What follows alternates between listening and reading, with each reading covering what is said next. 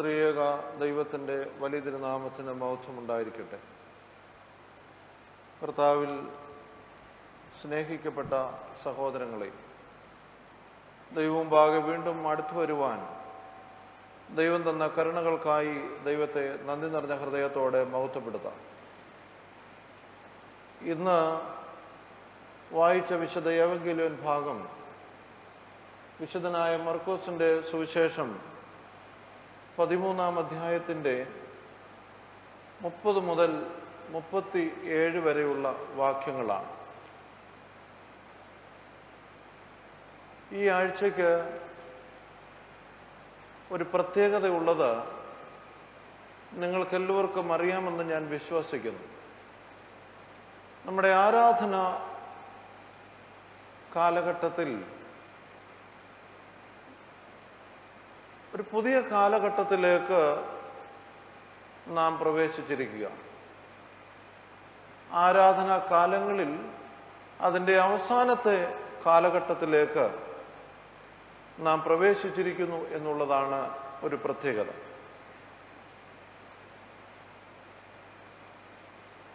ഈ ഒരു പുതിയ ലിറ്റോർജിക്കൽ സീസണിൽ നാം ധ്യാനിക്കുകയും പഠിക്കുകയും ചെയ്യുന്നത് കർത്താവിന്റെ രണ്ടാമത്തെ വരവുമായി ബന്ധപ്പെട്ട് ചേർന്ന വിഷയങ്ങളാണ്. അതുകൊണ്ട് ഈ സ്ലീബ കാലഘട്ടത്തിന്റെ പ്രധാനപ്പെട്ട സന്ദേശങ്ങൾ എന്ന് പറയുന്നത് എസ്കറ്റോളജിക്കൽ ഇവൻസ് ആണ് യുഗാന്ത്യപരമായ ദർശനങ്ങൾ. കർത്താവിന്റെ രണ്ടാമത്തെ വരവാണല്ലോ ഇതിന്റെ പ്രതിപാദ്യ വിഷയം എന്ന് പറയുന്നത്. ഇന്നത്തെ വേദഭാഗത്തിൽ വിശുദ്ധ മർക്കോസിന്റെ സുവിശേഷം പതിമൂന്നാം അധ്യായത്തിന്റെ മുപ്പത് മുതൽ മുപ്പത്തിയേഴ് വരെയുള്ള വാക്യങ്ങളിൽ കർത്താവിന്റെ രണ്ടാമത്തെ വരവ് എപ്പോൾ സംഭവിക്കുമെന്ന് ശിഷ്യന്മാർ ചോദിക്കുന്ന ചോദ്യത്തിന്റെ ഒരു മറുപടി ആയിട്ടാണ് കർത്താവ് പറയുന്നത്. പതിമൂന്നാം അധ്യായം മുഴുവനായി നാം പരിശോധിക്കുമ്പോൾ രണ്ടാമത്തെ വരവിന് മുൻപുള്ള അടയാളങ്ങളും സംഭവങ്ങളും വിവരിച്ചതിന് ശേഷം ആ നാളും നാഴികയും പിതാവല്ലാതെ പുത്രൻ പോലും അറിയുന്നില്ല. എന്ന് കർത്താവ് പറയുകയാണ്. ആകയാൽ ഉണർന്നും പ്രാർത്ഥിച്ചും കൊണ്ടിരിപ്പീൻ എന്ന് പറയും. കർത്താവിന്റെ രണ്ടാമത്തെ വരവ് നിശ്ചിതമാണ്. എന്നാൽ അത് അനിശ്ചിതവുമാണ്. പലപ്പോഴും നമ്മുടെ ആധ്യാത്മ ജീവിതം ഒന്ന് പരിശോധിക്കുമ്പോൾ നമുക്ക് തന്നെ ഒരു സംശയം ഉണ്ടാകാനായിട്ട് സാധ്യതയുണ്ട്. നമ്മുടെ ജീവിതത്തിന്റെ ക്രയവിക്രയങ്ങളും നമ്മുടെ ജീവിതത്തിന്റെ ഗതികളുമൊക്കെ ഒന്ന് പുനർവായന നടത്തി നോക്കുമ്പോൾ കർത്താവിന്റെ രണ്ടാമത്തെ വരവുണ്ടെന്നും അവിടെ ഒരു ന്യായവിധി ഉണ്ടെന്നും സ്വർഗമുണ്ട് നരകമുണ്ടെന്നുള്ള ബോധ്യം നമുക്കുണ്ടോ എന്ന് നാം ഒന്ന് പുനർവാ പുനർവായന നടത്തേണ്ടതാണ്. പലപ്പോഴും നമ്മുടെ ജീവിതത്തിന്റെ ഒരു ശൈലി വെച്ച് നോക്കുമ്പോൾ ഈ കാലഘട്ടം കൊണ്ട് തന്നെ ജീവിതം അവസാനിക്കുന്നു എന്നുള്ളൊരു ബോധ്യമാണ് പലപ്പോഴും നമ്മുടെ മനസ്സിലുള്ളത്.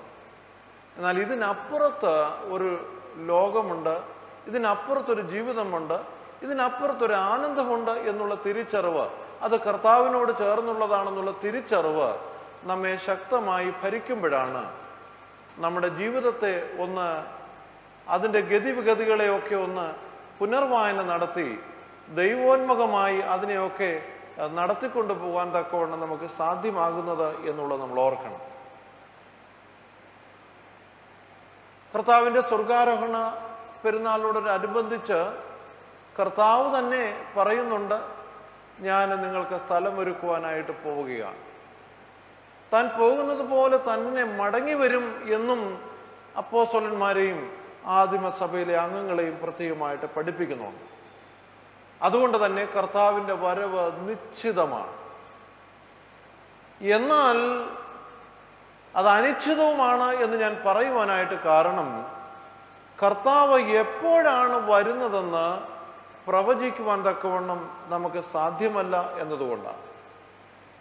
അതുകൊണ്ടാണ് കർത്താവ് ഇന്നത്തെ വേദഭാഗത്തിൽ വളരെ വ്യക്തമായി പഠിപ്പിക്കുന്ന രണ്ട് വാക്കുകളുണ്ട്. കർത്താവിന്റെ രണ്ടാമത്തെ വരവ് സംബന്ധിച്ച് താൻ പോലും അറിയുന്നില്ല. പിതാവ് മാത്രമേ അറിയുന്നുള്ളൂ. അതുകൊണ്ട് എപ്പോഴാണ് താൻ വരുന്നതെന്ന് തിരിച്ചറിയാത്തതുകൊണ്ട് നിങ്ങൾ ഉണർന്നിരിക്കണം പ്രാർത്ഥിച്ചു കൊണ്ടിരിക്കണം എന്ന് പറയുക.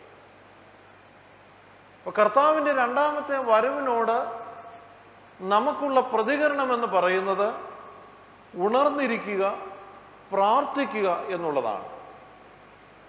കർത്താവിന്റെ രണ്ടാമത്തെ വരവ് എപ്പോൾ വരുമെന്നുള്ളതിന് വലിയ പ്രസക്തിയൊന്നുമില്ല. പത്രോസ് അപ്പോസ്തലൻ പറയുന്നത് കർത്താവിന്റെ ഒരു ദിവസം ആയിരം സംവത്സരം പോലെയും ആയിരം സംവത്സരം കർത്താവിന് ഒരു ദിവസം പോലെയുമാണ്. എന്നാൽ കർത്താവ് വരുവാൻ തക്കവണ്ണം താമസിക്കുന്നത് എല്ലാവരും മാനസാന്തരപ്പെടണം എന്ന് കർത്താവ് ആഗ്രഹിക്കുന്നത് കൊണ്ടാണ് ഈ ആശയം നേരത്തെ ഞാൻ ഇവിടെ പ്രസംഗിച്ചിട്ടുള്ളതാണ്. അതുകൊണ്ട് അത് വിശദീകരിക്കുന്നില്ല. അതുകൊണ്ട് കർത്താവ് രണ്ടാമത് എപ്പോൾ വരുമെന്നുള്ളതിന് പ്രസക്തിയില്ല. എപ്പോൾ വന്നാലും കർത്താവിനെ സ്വീകരിക്കുവാൻ ഒരുങ്ങിയിരിക്കുക എന്നുള്ളതാണ് ഒരു ക്രൈസ്തവ വിശ്വാസം സംബന്ധിച്ച് ഏറ്റവും ആവശ്യമെന്നുള്ളത് നാം പ്രത്യേകമായി തിരിച്ചറിയേണ്ടതാണ്. ബുദ്ധിയുള്ള കന്യകമാരുടെ ഉപമയിൽ ഇത് തന്നെയല്ലയോ നമ്മളെ കാണുന്നത്. ഏത് സമയത്ത് മണവാളൻ വരുന്നു എന്ന് അറിയാതിരുന്ന കുറച്ചു പേർ അലക്ഷ്യമായി അവരുടെ പ്രവർത്തനങ്ങളിൽ വ്യാപൃതരാകുമ്പോൾ കുറച്ചു പേർ വളരെ ശ്രദ്ധയോടെ ജീവിക്കുകയും കർത്താവിന് വേണ്ടി മണവാളന് വേണ്ടി കാത്തിരിക്കുകയും ചെയ്യുമ്പോൾ കാത്തിരിക്കുന്നവർ കർത്താവിന്റെ ഉണർവുള്ളവർ കർത്താവിനെ സ്വീകരിക്കുവാൻ തക്കവണ്ണം കർത്താവിനോട് ചേർക്കപ്പെടുകയും ജാഗ്രതയോടെ ഇരിക്കാതിരുന്നവർ പുറന്തള്ളപ്പെടുകയും ചെയ്യുന്ന ഉപമയാണല്ലോ പത്ത് കന്യകുമാരുടെ ഉപമ നമ്മെ പഠിപ്പിക്കുന്നത്. അതുകൊണ്ട് കർത്താവിന്റെ രണ്ടാമത്തെ വരവ് എപ്പോൾ വന്നാലും കർത്താവിനോട് ചേർക്കപ്പെടത്തക്കവണ്ണം ശ്രദ്ധാലുക്കളായി ജീവിക്കണം അങ്ങനെ ജീവിക്കുവാനായിട്ട് നമുക്ക് കഴിയണം എന്നുള്ളതാണ് ഇന്നത്തെ വേദഭാഗത്തിന്റെ ആശയമെന്ന് പറയും പതിമൂന്നാം അധ്യായം മുഴുവനായി പഠിക്കുമ്പോൾ കാലത്തിന്റെ ഗതിവിഗതികളെയൊക്കെ കർത്താവ് വ്യാഖ്യാനിച്ചിട്ട് പറയുന്നുണ്ട് കാലത്തെ വിവേചിപ്പാനായിട്ട് നിങ്ങൾക്ക് കഴിയണം. കാലത്തെ വിവേചിപ്പാനായിട്ട് നിങ്ങൾക്ക് കഴിയണം. ഉൽപ്പത്തി പുസ്തകം പഠിക്കുമ്പോൾ അവിടെ അവതരിപ്പിക്കുന്ന മനോഹരമായ ഒരു ലോകത്തിന്റെ പിക്ചറുണ്ട് അത് ഏതൻ തോട്ടത്തിലെ സമൃദ്ധിയുടെയും സമ്പന്നതയുടെയും ദൈവ സാന്നിധ്യത്തിന്റെയും ഒരു ലോകമാണ്. അവിടെ സന്തോഷവും സമൃദ്ധിയും സ്നേഹവും നന്മയും മാത്രമേ ഉണ്ടാകുന്നുള്ളൂ. അതിലേക്ക് പാപം വന്നു ചേരുമ്പോൾ ആ ലോകത്തിന്റെ ഗതി മാറ്റപ്പെടുന്നത് നമ്മൾ ചിന്തിക്കണം. ലോകമെന്ന് പറഞ്ഞാൽ എന്താ? ലോകം. ലോകമെന്ന് പറഞ്ഞാൽ നമ്മുടെ കണ്ണുകൊണ്ട് കാണപ്പെടുന്നതാണ് കണ്ണുകൊണ്ട് കാണുന്നത്. അപ്പോ അതുകൊണ്ടാണ് കർത്താവ് തന്റെ തിരഞ്ഞെടുക്കപ്പെട്ടവരോട് പറയുന്നുണ്ട് നിങ്ങൾ അറിയാത്ത ഒരു ദേശത്തേക്ക് ഞാൻ നിങ്ങളെ ഒരു ലോകത്തേക്ക് ഞാൻ നിങ്ങളെ നയിക്കും. അപ്പൊ അറിയാത്ത ഒരു ദേശത്തേക്ക് ഇസ്രായേൽ മക്കൾ മിസ്രൈമിൽ നിന്ന് പുറപ്പെട്ട് പാലും തേനും ഒഴുകുന്ന കനാൻ ദേശത്തിലേക്ക് പോകുമ്പോൾ കർത്താവ് പറയുകയാണ് നിങ്ങൾ അറിയാത്ത ഒരു ദേശത്തേക്ക് ഒരു നന്മയുടെ ദേശത്തേക്ക് സുഭിക്ഷതയുടെ ദേശത്തേക്ക് ഞാൻ നിങ്ങളെ അയക്കുമെന്ന് പറയുകയാണ്. അതുകൊണ്ട് നമ്മുടെ കണ്ണുകൊണ്ട് കാണാൻ പറ്റുന്ന ഈ ലോകത്തിന്റെ ഗതിക്ക് അപ്പുറത്ത് ഒരു ഭാവം ഈ ലോകത്തിനുണ്ട്. അതാണ് റിലീജിയൻ പഠിപ്പിക്കുന്നത്. To see beyond the horizon എന്നുള്ളൊരു ആശയത്തിലേക്കാണ് മതം നമ്മെ നയിക്കേണ്ടത്. അതുകൊണ്ട് കണ്ണുകൊണ്ട് കാണപ്പെടുന്ന ഈ ലോകത്തിന് അപ്പുറത്തുള്ളൊരു ലോകമുണ്ട്. ആ ലോകത്തിലേക്കുള്ള ഒരു പ്രയാണം ഒരു കാഴ്ച ഒരു ഉൾക്കാഴ്ച നമുക്ക് കണ്ടെത്തുവാൻ തക്കവണ്ണം സാധിക്കുന്നെങ്കിൽ അവിടെയാണ് കർത്താവിന്റെ രണ്ടാമത്തെ വരവിനെ കുറിച്ചുള്ള ഒരു ദീർഘവീക്ഷണം നമ്മുടെ ബോധ്യത്തിൽ വളരെ ശക്തമായി ഉണ്ടാകുക. അതുകൊണ്ട് ഞാൻ പറഞ്ഞു വരുന്നത് നമ്മുടെ ജീവിതത്തിൽ അനുദിന സംഭവങ്ങൾ അത് പ്രകൃതിയുടെ പ്രതിഭാസങ്ങളായിക്കൊള്ളട്ടെ പ്രകൃതി മനുഷ്യനോട് മറുതലിക്കുന്നതായിക്കൊള്ളട്ടെ രോഗങ്ങളുടെയും പ്രതികൂലതയുടെയും കാലഘട്ടങ്ങളാകട്ടെ ഇതൊക്കെ വിവേചിച്ചറിഞ്ഞ് കാലത്തെ വിവേചിച്ചറിഞ്ഞ് അനുദിന സംഭവങ്ങളെയൊക്കെ വിവേചിച്ചറിഞ്ഞ് നമ്മുടെ ജീവിതത്തെ ക്രമീകരിക്കുവാനും ഈ വരുന്ന ഈ ലോകത്തിനപ്പുറത്തുള്ള ലോകത്തിലേക്ക് ഉള്ള ഒരു കാഴ്ചപ്പാടിലേക്ക് നമ്മുടെ ശ്രദ്ധയെ കൊണ്ടുപോകാൻ തക്കോണം നമുക്ക് സാധിക്കുന്ന ഒരനുഭവമാണ് ഇവിടെ പ്രത്യേകമായി ഓർമ്മിപ്പിക്കുന്നത്. അതെപ്പോൾ വരുമെന്ന് ബോധ്യമില്ലാത്തതുകൊണ്ട് ശ്രദ്ധാലുക്കളായി ജീവിക്കണം കാലത്തെ വിവേചിച്ചറിഞ്ഞ് ജീവിക്കണം നിന്റെ ജീവിതത്തിൽ അനുദിന സംഭവങ്ങൾ വരുന്നതൊക്കെ വിവേചിച്ചറിഞ്ഞ് ജീവിതത്തെ വിലയിരുത്തി കർത്താവിന്റെ രണ്ടാമത്തെ വരവിനായി ഒരുങ്ങുവാൻ തക്കവണ്ണം സാധിക്കണം എന്ന് ഓർമ്മിപ്പിക്കുകയാണ്. ഉണർന്നിരിപ്പീൻ എന്ന് പറയുന്നതിന്റെ അർത്ഥം എന്താണെന്നറിയാമോ? എപ്പോഴും ഇങ്ങനെ ഒട്ടും കണ്ണടയ്ക്കാതെ എപ്പോഴും കണ്ണു തുറന്നിരിക്കുക എന്നുള്ള അർത്ഥം അതിനില്ല. ഉണർന്നിരിപ്പീൻ എന്ന് പറഞ്ഞാൽ അതിന് കർത്തവ്യ നിരതരായിരിപ്പീൻ എന്നാണ് അർത്ഥം. എന്താ? കർത്തവ്യ നിരതരായിരിപ്പീൻ എന്ന് പറഞ്ഞാൽ ഓരോരുത്തരെ ദൈവം തമ്പരാൻ ഓരോ ഉത്തരവാദിത്തങ്ങൾ ദൗത്യങ്ങൾ ഏൽപ്പിച്ചിട്ടുണ്ട്. ആ ദൗത്യങ്ങളെ കുറിച്ച് ബോധ്യമുള്ളവരായി ആ ദൗത്യങ്ങൾ പൂർത്തീകരിക്കുന്നവരായി കർമ്മോത്സുകരായിരിക്കുവാൻ തക്കവണ്ണുള്ളൊരു സാധ്യത. ഇതാണ് ഉണർന്നിരിപ്പീൻ എന്ന് പറഞ്ഞാൽ അതിന്റെ അർത്ഥം. യജമാനൻ തന്റെ സമ്പത്തുകളൊക്കെ സൂക്ഷിക്കുവാൻ ചില ആളുകളെ ഏൽപ്പിച്ചു ചില ഉത്തരവാദിത്തങ്ങൾ ഏൽപ്പിച്ചിട്ട് വിദേശത്തേക്ക് പോവുകയാണ്. അവൻ എപ്പോഴാണ് മടങ്ങി വരുന്നത് എന്ന് അറിയാത്തതുകൊണ്ട് അവൻ ഏൽപ്പിച്ച സമ്പത്തും അവൻ ഏൽപ്പിച്ച ഉത്തരവാദിത്തങ്ങളും ഏറ്റവും അനുയോജ്യമായി വളരെ കർമ്മോത്സുകതയോടെ ജാഗ്രതയോടെ അത് സൂക്ഷിക്കുകയും അത് വളർത്തിക്കൊണ്ടുവരുവാൻ തക്കവണ്ണം പരിപാലിക്കുകയും ചെയ്യുന്ന ഒരു മനുഷ്യരെ പോലെയാണ് എന്റെയും നിങ്ങളുടെയും അവസ്ഥ എന്നുള്ളത് കർത്താവ് ഇവിടെ ഓർമ്മിപ്പിക്കുക. അതുകൊണ്ട് ദൈവം നമ്മളെ പല ഉത്തരവാദിത്തങ്ങൾ ഏൽപ്പിച്ചിട്ടുണ്ട്. പുരോഹിതനായി വിശ്വാസിയായി ശുശ്രൂഷകനായി മഹാപുരോഹിതനായി മേൽപ്പട്ടക്കാരനായി ഇങ്ങനെയൊക്കെ വ്യത്യസ്തമായിട്ടുള്ള തലങ്ങളിൽ ദൈവം തമ്പുരാൻ ഓരോ ഉത്തരവാദിത്തങ്ങൾ ഏൽപ്പിച്ചിട്ടുണ്ട്. ചിലരെ കുടുംബം ഏൽപ്പിച്ചിട്ടുണ്ട് ചിലരെ കുഞ്ഞുങ്ങളെ ഏൽപ്പിച്ചിട്ടുണ്ട് ചിലർക്ക് ഓരോ ദൗത്യങ്ങൾ തന്നിട്ടുണ്ട് ചിലർക്ക് സമൂഹത്തിൽ ചില ഡെസിഗ്നേഷൻ തന്നിട്ടുണ്ട്. അത് ചിലർ കൃഷിക്കാരാകാം ചിലര് വാഹനം ഓടിക്കുന്നവരായിരിക്കാം ചിലര് വളരെ ഉന്നതമായ പൊസിഷനൊക്കെ ആർജിച്ചിരിക്കുന്നവരായിരിക്കാം. അവിടെയൊക്കെ ഉണർവുള്ളവരായി ജാഗ്രതയുള്ളവരായി കർത്തവ്യ നിരതരായി ജീവിക്കുവാൻ തക്കവണ്ണം സാധിക്കണമെന്നാണ് ഓർമ്മിപ്പിക്കുന്നത്. അതുകൊണ്ട് ദൈവം തമ്പുരാൻ നമ്മെ ഏൽപ്പിച്ചിരിക്കുന്ന ദൗത്യത്തിന് അനുസൃതമായി നമ്മുടെ ജീവിതത്തെ വിലയിരുത്തി ജീവിതത്തെ കർമ്മോത്സുകതയിൽ നയിക്കുവാൻ തക്കവണ്ണമുള്ള സാധ്യത നമുക്കുണ്ടാക്കിയെടുക്കുവാൻ തക്കവണ്ണം കഴിയണമെന്നുള്ളത് നാം ഓർമ്മ കർത്താവ് ഓർമ്മിപ്പിക്കുക. അതിനപ്പുറത്തുള്ളതെല്ലാം പാപമാണ്. പാപമെന്ന് പറഞ്ഞാൽ അർത്ഥമെന്താ? സിൻ എന്ന് പറഞ്ഞ വാക്കിന്റെ അർത്ഥം അത് ഗ്രീക്ക് ഭാഷയിൽ നിന്ന് ശരിയായിട്ട് വിവർത്തനം ചെയ്താൽ അതിന്റെ അർത്ഥം മിസ്സിങ് ദ ഗോൾ എന്നാണ്. ലക്ഷ്യം തെറ്റുക വഴി തെറ്റുക എന്നുള്ളതിനാണ് പാപമെന്ന് പറയുന്നതിന്റെ അർത്ഥം. അതുകൊണ്ട് നമ്മുടെ ജീവിതത്തിൽ ഈ പാപത്തെ ഒന്ന് വിലയിരുത്തുക. ഈ പാപത്തെ വിലയിരുത്തുമ്പോൾ ജീവിതത്തിൽ വഴിതെറ്റുന്ന ജീവിതത്തിൽ കർമ്മോത്സവരായി ജീവിക്കുവാൻ തക്കവണ്ണം കഴിയാതെ വരുന്ന നമ്മെ ഏൽപ്പിച്ചിരിക്കുന്ന ദൗത്യങ്ങളെ വേണ്ടവണ്ണം നിർവഹിക്കുവാൻ തക്കവണ്ണം കഴിയാതെ വരുന്ന അവസ്ഥാന്തരങ്ങളെയൊക്കെ പാപമെന്ന് പറയാം. അത് പഠിക്കാതിരിക്കുന്നതാവാം. അത് മാതാപിതാക്കന്മാരെ അനുസരിക്കാതിരിക്കുന്നതാകാം.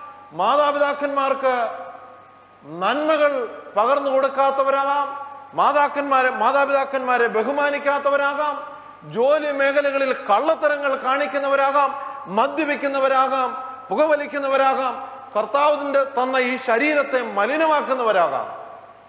അതുകൊണ്ട് പാപത്തിന്റെ വ്യത്യസ്തമായിട്ടുള്ള ഭാവങ്ങൾ നമ്മുടെ ജീവിതത്തെ ഒന്ന് വിലയിരുത്തുക. മറ്റുള്ളവരോട് അസൂയ തോന്നുന്നതാകാം. മറ്റുള്ളവരെ നശിപ്പിക്കുവാൻ തക്കവണ്ണം നമ്മുടെ വാക്കും ചിന്തയും പ്രവർത്തിക്കുന്നതാവാം. ഓരോ വ്യത്യസ്തങ്ങളായിട്ടുള്ള തലങ്ങളിൽ ഓരോ വ്യത്യസ്തങ്ങളായിട്ടുള്ള മേഖലകളിൽ ദൈവം തമ്പുരാൻ നമ്മെ ഉത്തരവാദിത്തങ്ങൾ ഏൽപ്പിച്ചിട്ടുണ്ട്.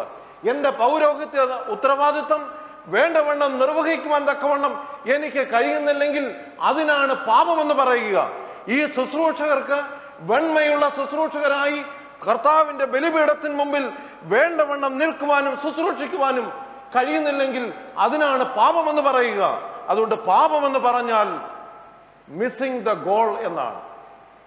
കർത്താവ് ഓരോ ദൗത്യങ്ങൾ വിശ്വാസികളായ നിങ്ങളെ ഓരോരുത്തരെയും ഏൽപ്പിച്ചിട്ടുണ്ട്. നിങ്ങളുടെ കുടുംബം ഏൽപ്പിച്ചിട്ടുണ്ട്. നിങ്ങളുടെ ജീവിത പങ്കാളിയെ ഏൽപ്പിച്ചിട്ടുണ്ട്. നിങ്ങളുടെ ജോലി മേഖലകളെ ഏൽപ്പിച്ചിട്ടുണ്ട്. വ്യത്യസ്തങ്ങളായ ദൗത്യങ്ങൾ ദൈവം തമ്പുരാൻ നിങ്ങൾക്ക് ഓരോരുത്തർക്കും തന്ന് യജമാനൻ വിദേശത്തേക്ക് പോയിരിക്കുകയാണ്. യജമാനൻ ഈ ലോകത്തെ നിങ്ങളെ ഏൽപ്പിച്ചിരിക്കുകയാണ്. എന്തിനാണ്? ഈ ലോകത്തിൽ ദൈവത്തിന്റെ പ്രകാശമായി ജീവിക്കുവാൻ തക്കവണ്ണം നമുക്ക് കഴിയണമെന്നുള്ളതാണ്. അതുകൊണ്ടാണ് കർത്താവ് പറയുന്നത് നിങ്ങൾ ലോകത്തിന്റെ വെളിച്ചമാകുന്നു. അതിനു മുമ്പ് താൻ പറയുന്നുണ്ട് ഞാൻ ലോകത്തിന്റെ വെളിച്ചമാകുന്നു. വെളിച്ചമാകുന്ന എന്നിലൂടെ നിങ്ങൾ ലോകത്തിന്റെ വെളിച്ചമായി തീരണം ഈ ലോകത്തിൽ ക്രൈസ്തവ സമൂഹത്തെ ദൈവം ആക്കിയിരിക്കുന്നത് എന്തിനാണെന്ന് അറിയാമോ ഈ ലോകത്തിന് പ്രകാശം നൽകുന്നവനാ നൽകുന്നതിന് വേണ്ടിയാണ്. ലോകത്തിന് വേണ്ടി പ്രാർത്ഥിക്കുന്നതിന് വേണ്ടിയാണ്. ലോകത്തെ നന്മയിലേക്ക് നയിക്കുന്നതിന് വേണ്ടിയാണ്. അതിന് വ്യത്യസ്തമായിട്ടുള്ള വളർച്ചയുടെ ഘട്ടങ്ങൾ അത് കുടുംബ ജീവിതത്തിൽ സാമൂഹ്യ ജീവിതത്തിൽ സഭാജീവിതത്തിലൊക്കെ ദൈവം തമ്പുരാൻ തന്നിരിക്കുകയാണ്. ഈ പോയിരിക്കുന്ന വിദേശത്തേക്ക് പോയിരിക്കുന്ന യജമാനൻ സ്വർഗാരോഹണം ചെയ്ത് പിതാവായ ദൈവത്തിന്റെ സന്നിധിയിലേക്ക് പോയിരിക്കുന്ന ഈ യജമാനൻ കടന്നു വരുമ്പോൾ നമ്മളോട് ചോദിക്കും കുഞ്ഞുങ്ങളെ വല്ലതുമുണ്ടോ? കടലിൽ കർത്താവിനെ മറന്ന് തന്റെ ഉയർപ്പിന് ശേഷം മീൻ പിടിക്കുവാൻ പോയിട്ടുള്ള മുഖ്വന്മാരോട് കർത്താവ് എന്ന് ചോദിക്കുന്ന ഒരു ചോദ്യമുണ്ട്. കുഞ്ഞുങ്ങളെ കൂട്ടുവാൻ വല്ലതുമുണ്ടോ? ഇപ്പോൾ പിടിച്ചത് കുറച്ച് കൊണ്ടുവരിക. കൈമലർത്തി കാണിക്കുവാൻ തക്കോണം ഇടവരുന്ന ഒരു സാഹചര്യം. പ്രിയമുള്ളവരെ ദൈവം തമ്പരാൻ നമ്മെ വലിയൊരു ഉത്തരവാദിത്വം ദൗത്യം ഏൽപ്പിച്ചിരിക്കുക ഈ ദൗത്യത്തിൽ കർമ്മനിരതരായിരിക്കുവാൻ കർത്തവ്യനിരതരായിരിക്കുവാൻ നമുക്ക് സാധിക്കണം. യജമാനൻ എപ്പോൾ വന്നാലും തന്റെ വേല പൂർത്തീകരിക്കുന്നവനായി നമ്മെ കാണണം. ഇതാണ് ദൈവം തമ്പരാൻ ആഗ്രഹിക്കുന്നത്. ഞാൻ എന്റെ വാക്കുകളെ അവസാനിപ്പിക്കട്ടെ. രണ്ട് വാക്കുകളാണ് ഞാൻ പ്രത്യേകമായി ഓർമ്മിപ്പിച്ചത്. കർത്താവിന്റെ രണ്ടാമത്തെ വരവുമായി ബന്ധപ്പെട്ടിട്ടുള്ള ആശയങ്ങളാണ് ഇന്നത്തെ വേദഭാഗത്തിൽ അവതരിപ്പിക്കുന്നത്. അതിനോടുള്ള നമ്മുടെ പ്രതികരണമായി കർത്താവ് പറയുന്നത് രണ്ട് കാര്യമാണ്. ഒന്ന് ഉണർന്നിരിക്കുക എന്ന് പറഞ്ഞാൽ നിന്നെ ഏൽപ്പിച്ച ഉത്തരവാദിത്തങ്ങളിൽ കർത്തവ്യനിരതരായി ജീവിക്കുക എന്നുള്ളതാണ്. രണ്ടാമത് കർമ്മങ്ങളോടൊപ്പം പ്രാർത്ഥനയും അനിവാര്യമാണ്. ചിലർ വിചാരിക്കും പ്രവർത്തനം മാത്രം മതി പ്രാർത്ഥന വേണ്ട പോരാ. കർമ്മവും പ്രാർത്ഥനയും ഒരേപോലെ സമന്വയിക്കുമ്പോഴാണ് നമുക്ക് ദൈവോന്മുഖമായി ജീവിക്കുവാനായിട്ട് സാധിക്കുന്നത്. ചില ആളുകൾ പറയും പ്രാർത്ഥിച്ചില്ലെങ്കിലും കുഴപ്പമൊന്നുമില്ല. പള്ളിയിൽ പോയില്ലെങ്കിലും കുഴപ്പമൊന്നുമില്ല. കുർബാന അനുഭവിച്ചില്ലെങ്കിലും കുഴപ്പമൊന്നുമില്ല. ഞാൻ ഒരുപാട് നന്മ പ്രവർത്തികൾ ചെയ്യുന്നുണ്ട്. ഒത്തിരി നന്മ പ്രവർത്തനങ്ങൾ ചാരിറ്റി പ്രവർത്തനങ്ങളൊക്കെ ഞാൻ ചെയ്യുന്നുണ്ട്. പോരാ. To be good within the heart എന്ന് മാത്രം ചിന്തിച്ചാൽ ആത്മീയമായി വളർച്ച ഉണ്ടാകുകയില്ല അതിനോടൊപ്പം തന്നെ നമുക്ക് പ്രാർത്ഥനയും ആവശ്യമാണ്. ആത്മീയ അനുഷ്ഠാനങ്ങളും കർമ്മ നിരതയും രണ്ടും കൂടെ ഒരുമിച്ച് നമ്മുടെ ആധ്യാത്മ ജീവിതത്തിൽ സമന്വയിക്കുമ്പോഴാണ് വേണ്ടവണ്ണം കർത്താവിനെ സ്വീകരിക്കുവാൻ തക്കവണ്ണം ഒരുക്കമുള്ളവരായി ജീവിക്കുവാൻ തക്കവണ്ണം നമുക്ക് സാധിക്കുന്നത്. ക്രിയാത്മകമായി പ്രതികരിക്കുവാൻ ദൈവം നമ്മെ ശക്തിപ്പെടുത്തട്ടെ എന്ന് പ്രാർത്ഥിച്ചുകൊണ്ട് ഞാൻ എന്റെ വാക്കുകളെ അവസാനിപ്പിക്കുന്നു. ദൈവം തമ്പുരാൻ നമ്മെ എല്ലാവരെയും അനുഗ്രഹിക്കുമാറാകട്ടെ.